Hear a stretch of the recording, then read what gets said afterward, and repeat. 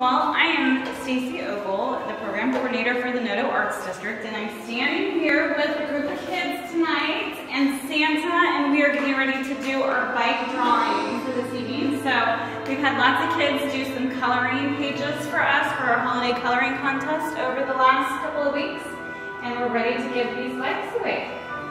So we've got three.